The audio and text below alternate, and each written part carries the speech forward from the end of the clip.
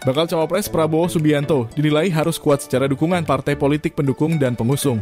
Sebab parpol di koalisi Indonesia Maju harus solid dalam mendukung pemenangan Pilpres 2024. Ketua Umum Satkar Ulama Indonesia Idris Lana mengatakan satu-satunya figur yang punya dukungan kuat partai besar adalah Ketua Umum Erlangga Hartarto.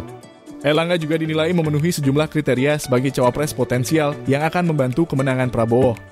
Dalam hasil berbagai lembaga survei, sosok Erlangga dalam simulasi cawapres bersama Prabowo hasilnya cukup tinggi. Selain itu, Partai Golkar adalah partai yang memiliki kursi terbanyak dalam koalisi. Sebagai partai besar, tentunya Golkar memiliki kader tradisional yang konkret. Akar rumput akan all out jika ketua umumnya berlaga di Pilpres 2024.